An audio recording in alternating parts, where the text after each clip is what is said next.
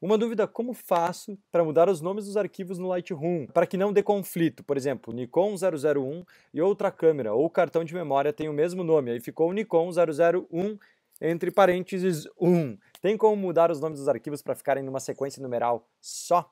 Uh, claro, essa pergunta é, é, uma pergunta teoricamente simples, mas bem interessante. Ele está enfrentando um problema que eu enfrentei muito no início da minha carreira, que a cada vez que eu colocava um cartão de memória na minha câmera, ela começava a contar 001, daí 002, 003 e assim ia por sequência.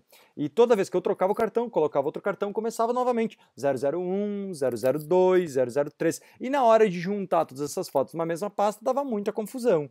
E aí tem uma sacadinha muito simples, que é entrar no menu da câmera e, e, mudar e deixar lá como sequência numérica. Ou seja, a tua câmera vai começar a clicar 001, 002, 003. Se você tirar de cartão, colocar outro cartão, ela não vai começar do 001. Ela vai continuar do 004, 005, vai assim até 9.999 fotos. E aí ela zera e volta de novo 001, 002, 003 até 9.999.